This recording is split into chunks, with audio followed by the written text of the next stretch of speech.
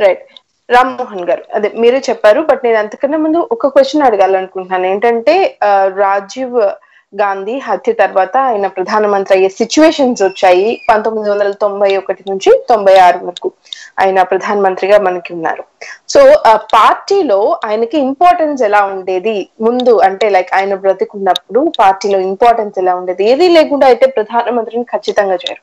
So ఆయన importance ఆయనకుంది. And ప్రజలలో కూడా ఆయనకి ఆదరణ ఉంది. ఎక్కడ చూసినా ఇప్పుడు మనం చూస్తున్నాం ఆయన విగ్రహాలు ఉన్నాయి. ఇప్పుడు కొత్తగా తెలంగాణ ప్రభుత్వం పెట్టక ముందు కూడా చాలా విగ్రహాలు అండ్ చాలా మంది పివి అనగానే గుర్తుపట్టే స్థితిలో ఇప్పటి యూత్ కూడా ఉన్నారంటే అప్పుడు ఆయన చేసిన పనులని చెప్పుకోవచ్చు. సో పార్టీలో ఆయనకి ఎంత ఇంపార్టెన్స్ ఉండేది? ఆయన పార్టీలో ఉన్నప్పుడు కావచ్చు పదవి నిర్వహిస్తున్నప్పుడు కావచ్చు. ఆయన బహుముఖ ప్రజ్ఞాశాలి చెప్పుకుంటే ప్రతిభ ఉన్న దాన్ని తప్పనిసరి పార్టీలు ఉపయోగించుకుంటాయి. మీరు పార్టీలన్నీ డొలతనంతో లేవు.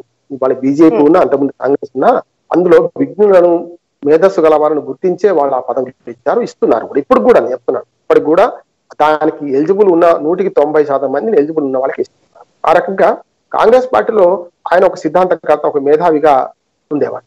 అందుకనే ఆయనకు అవకాశాలు ఆయనను వెతుక్కుంటూ వచ్చినాయి. ఆయన వెతుక్కుంటూ పోలే ఎక్కడికి కూడా.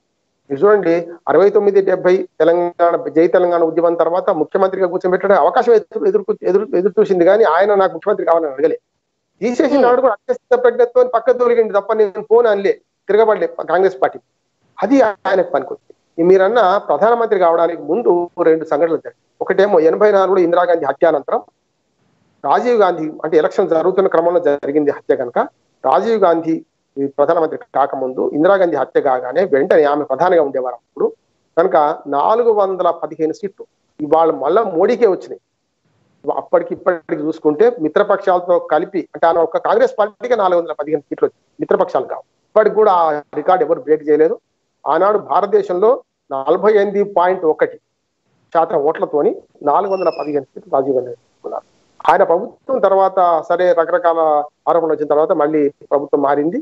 ఆయన ప్రతిపక్ష నాయకుడు ఉన్నప్పుడు రాజీవ్ గాంధీ అప్పుడు ఎవరిని ప్రధానమంత్రి చేయాలంటే పోటీలు పడ్డ వాళ్ళలో ప్రణబ్ ముఖర్జీ గారు పంపుకున్నారు ప్రణబ్ ముఖర్జీ గారేమో పూర్తి రాజకీయం పశ్చిమ బెంగాల్ నుంచి వచ్చిండ్రు.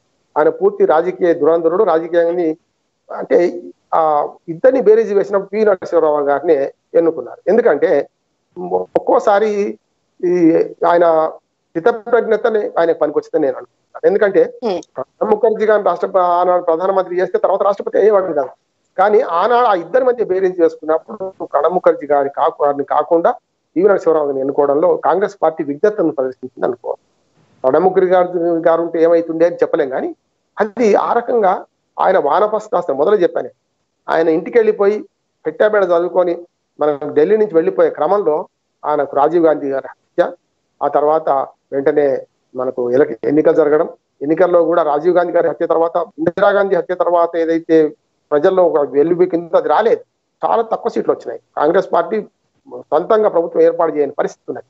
కానీ ఆనాడు ఉన్నంతలో largest party largest single party కింద కాంగ్రెస్ పార్టీ అధికారంలోకి వచ్చింది. అందుకనే సంక్షోభ సమయంలో ఎవరు పనికొస్తారనే దానికి మంచి ఉదాహరణగా పివి నరసింహరావు మీరు అన్నది కరెక్ట్ అంటే పార్టీలో విలువ ఎంత ఉంది అని ఎంత అంటే ఏంటంటే ఆయన ఆయనను ఓన్ చేసుకోవడానికి రెండు ఆఖరులు ఆయన చనిపోయినప్పుడు ఓన్ చేసుకోకపోవడానికి కారణాలు రెండు ఉన్నాయి. ఒకటి కాంగ్రెస్ పార్టీ మొదటి కూడా కుటుంబ కుటుంబ పార్టీ కుటుంబ పాలన చేసేది అంటే నెహ్రూ వారసత్వంగా వచ్చిన వారినే వారు వారు ప్రధానమంత్రిలో గుర్తించారు. మీరు చూడండి అంతకుముందు గుల్జారీ లాల్ నందా గారు రెండు సార్లు ప్రధానమంత్రి చేశారు నెహ్రూ గారు చనిపోయినప్పుడు లాల్ బహదూర్ శాస్త్రి గారు చనిపోయినప్పుడు. కానీ ఆయన పేరు ఎక్కడ. లాల్ బహదూర్ శాస్త్రి గారు కూడా ప్రధానమంత్రిగా ఉన్నారు. ఆయన పేరు ఎక్కడ కనపడదు కానీ వరుసగా చూడండి నెహ్రూ ఇందిరాగాంధీ రాజీవ్ గాంధీ ఇట్లా ఇట్లా కనపడుతుంటారు. అంటే ఏమవుతుంది ఇందిరా గాంధీ నెహ్రూ ఉన్న వాళ్ళనే మనము చూస్తున్నాం. అది అందులో భాగంగా పివి నరసింహరావు గారి కుటుంబ వారసత్వం లేదు కనుక ఒక అన్యాయం జరిగింది. రెండవది ఏంటంటే మీకు బాబ్రీ మసీదు విధ్వంసానికి కారకుడు ఈయనను చూస్తే ఈ- ఈయనను మనం బాగా మెచ్చుకుంటే మనకు ముస్లింలు ఓట్లు పోతాయని కూడా కాంగ్రెస్ పార్టీ భావించింది ఇది రెండవ కారణం. అంటే రాజకీయంగా ఓటు బ్యాంక్ రాజకీయాలు చేస్తున్నప్పుడు ఏమైందంటే ఓటు బ్యాంక్ రాజకీయాల్లో మీకు ఓట్లు కావాలి వాళ్ళకి. అంటే అంతేందుకు? ఇవాళ సిక్కులకు క్షమాపణ చెప్పాల్సిన పరిస్థితి కాంగ్రెస్ పార్టీకి ఎందుకు వచ్చింది? ఓటు బ్యాంక్ రాజకీయాలు ఇందిరాగాంధీ గారి హత్య తర్వాత సిక్కులను ఊచకూతకు కోసిన సందర్భంలో చాలా రోజుల తర్వాత సోనియా గాంధీ వెళ్ళి వీళ్ళందరూ కూడా కాంగ్రెస్ పార్టీ వాళ్ళు ప్రముఖ నాయకులు వెళ్ళి సిక్కులకు క్షమాపణ చెప్పారు. ఆ రకంగా పివి నరసింహరావు గారిని సొంతం చేసుకుంటే ముస్లింల ఓట్లు పోతాయనే రాజకీయ భయంతోనే ఆయన దూరం పెట్టారు తప్ప ఆయన మీద ప్రేమలేక కాదు. ఆయన మీద కాంగ్రెస్ పార్టీకి సీతక్కను లేదు. కానీ రాజకీయాల్లో రాజకీయాల ఆటలో ఇవన్నీ సహజము. వీటన్నిటికీ అతీతంగా ఆయన ఎదిగింది కనుక ఎప్పుడు ఏ అవసరం వచ్చినా కాంగ్రెస్ పార్టీలో ఓ సిద్ధాంతకర్తగా ఒక ఏమంటారు దాన్ని ట్రెండ్ సెట్టర్గా ఒక మన సంక్షోభాన్ని ఎదుర్కొనేవాడిగా ఆఖరికి ప్రధానమంత్రి అయ్యేదాకా కూడా ప్రవర్తించుడు. దాన్ని నిలబెట్టుకుంటాడు అయితే మీరు చెప్పింది ఒప్పుకోదగ్గ విషయమే అయినప్పటికీ ఆయన చనిపోయిన తర్వాత ఢిల్లీలో ఎలాగైతే ఆయనకి దహన సంస్కారాలు జరగలేదు ఇక్కడ హైదరాబాద్ కాంగ్రెస్ కార్యాలయంలో కూడా ఆయన భౌతికాయాన్ని ఉంచుతాము ఆ సందర్శనార్థం అంటే కూడా ఒప్పుకోకపోవడం జరిగింది. సో ఇంపార్టెన్స్ ఉన్నప్పటికీ ఎందుకు అలా చేయాల్సి వచ్చిన పరిస్థితి? అయితే మరొక అంశం కూడా వినిపిస్తోంది. ఆ సోనియా గాంధీకి ఇష్టం లేకనే ఇలా జరిగింది అని అంటారు. మరి ఎలా తీసుకోవాలంటారు దీన్ని? నాకు దగ్గరగా తెలిసిన విషయం ఏంటంటే సోనియా గాంధీ గారు పప్పెట్గా ఉంటాడు. అంటే మీరు అప్పుడు రాజీవ్ గాంధీ గారు చనిపోగానే అంతకుముందు ఆ ఆ కుటుంబంలో వారసత్వం ఎవరంటే మళ్ళీ సోనియా గాంధీ గారు రావాలి. పిల్లలేమో చిన్నవాళ్ళు. రాహుల్ గాంధీ కానీ మన ప్రియాంక చాలా చిన్నవాళ్ళు అప్పటికి. ఎవరు రావాలి? కనుక అప్పుడు బేరీజ్ చేసుకునే క్రమంలో ఈ మనకు మనకు ప్రణబ్ ముఖర్జీ అయితే మనకు ఎప్పుడు ఏకమేక అవుతారు ఈయనైతే మన కుటుంబానికి మన పార్టీకి ఒబిడియంట్ అని చెప్పి ఈయన పెట్టుకున్నారు కానీ ఈయన స్వతంత్రంగా వ్యవహరించడం మొదలుపెట్టారు. అందుకనే చూడండి మీరు సీతారాం కేసరిని మనకు పార్టీ ప్రెసిడెంట్ చేశారు తీసుకొని ఆ అంతకుముందు ఉన్నదాన్ని అంటే సీతారాం కేసరి నెత్తి మీద కూర్చుని పెట్టారు తీసుకొని అంటే రకరకాలుగా ఐదేళ్ళలో ఒక మొదటి సంవత్సరం ఆయన స్వతంత్రంగా వ్యవహరించి ప్రపంచవ్యాప్తంగా ఒక పేరు తెచ్చుకుంటుండో కాంగ్రెస్ పార్టీ కాకుండా బయట పార్టీలు కూడా ఒక రకంగా మద్దతు ఇచ్చినాయో రాజకీయంగా విమర్శించరు కానీ ఆయన పరిపాలన విషయంగా ఆయన మద్దతు ఇచ్చినాయో నా కుటుంబ వారసత్వాన్ని వీళ్ళు ఈ తెరిపివేస్తారు. అంటే మాట్లాడితే ఇప్పుడు మీరు చూడండి కాంగ్రెస్ పార్టీలో మీరు ఎవరినైనా తిట్టండి చెల్తది కానీ వాళ్ళ సోనియా గాంధీని రాహుల్ గాంధీని ప్రియాంక గాంధీని వీళ్ళని మాత్రం ఎవరన్నా మిగతా కాంగ్రెస్ పార్టీలో అధిక ప్రజాస్వామ్యం సముద్రం అది. అంటే అంతర్గత ప్రజాస్వామ్యం కాదు అది.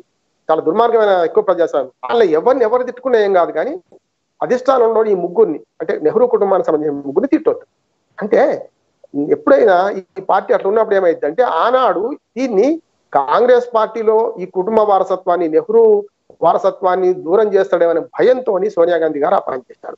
ఎప్పుడైతే కాంగ్రెస్ పార్టీలో ఏముంటదంటే అధినాయకత్వం ఏది చేస్తే ఏది చెప్తే చేస్తారు. కింద-. ఆనాడు అధినాయకత్వం పివి నరసింహరావు గారు సరైన గౌరవం ఇద్దాం అని చెప్పి అక్కడ టెన్త్ టెన్త్ జనపది నుంచి ఆదేశాలు ఏమొస్తే అవి చేసేవాళ్ళు. ఆనాడు అక్కడ చేయలేకపోయింది ఇక్కడ గాంధీ భవన్ కూడా మీరు అన్నది చాలా కరెక్ట్. గాంధీ భవన్ కూడా తీసుకెళ్ళకుండా శవం సగం కాలి చాలా ఆయన దురంత దుర్మార్గం ఏంటంటే శవం కూడా సరిగ్గా కాలిందా లేదా అని చూసుకొని పరిస్థితి తీసుకొచ్చారు ఆయన. ఎందుకంటే ఆ రకంగా ఆయన చివరి రోజు చివరి రోజులలో చనిపోయిన తర్వాత ఆయన శవానికి ఆయన పార్థివ దేహానికి సరైన గౌరవం ఇయ్యలేదని అపఖ్యాతి అపఖ్యాతి కాదు నిజమే అది. కాంగ్రెస్ పార్టీ ముడిగా కట్టుకున్నది ఇవాటికి కూడా వాళ్ళు ఎంత పివి నరసింహరావు గారిని సొంతం చేసుకున్నామన్నా ఆ మచ్చ వారికి కాంగ్రెస్ పార్టీ మిగిలిపోతుంది